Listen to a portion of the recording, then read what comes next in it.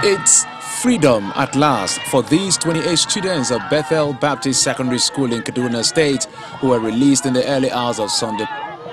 They were kidnapped by bandits from their hostels on July the 5th and spent exactly 20 days in captivity. Two soldiers who tried to repel the bandits were killed during the incident. It's a mixed feeling at the school for waiting parents as the buses conveying the students arrive the school premises.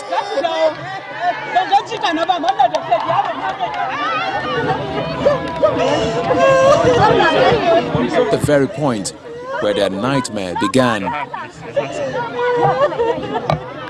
But they are not the same again. Most of them are looking pale and traumatized. Others sustained swollen limbs and can no longer walk unaided, an indication that they may have been maltreated in the forest by their abductors. For the parents whose children were among the 28, it's a sweet, sad moment as they reunite with their children. The sight of her daughter overwhelms this middle-aged woman, making her lose consciousness.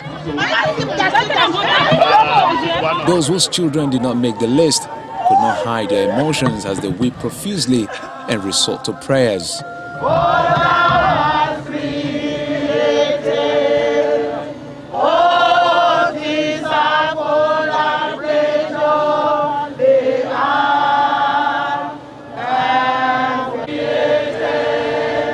The conditions for the release of the students is still unclear as the school authority denies paying any ransom or even as they say not as much was done by security agencies.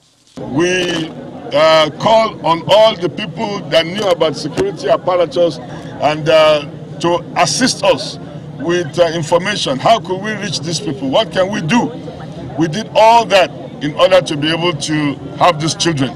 Finally, the children of today that were released, they were just released by the people who abducted them.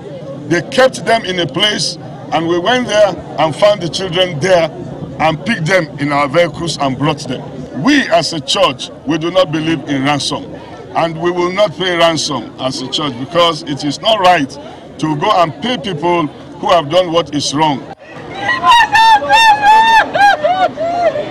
A spate of kidnapping targeting schools have taken place in Kaduna State in recent time, with no fewer than four schools attacked by bandits and students taken away. Most have later been freed.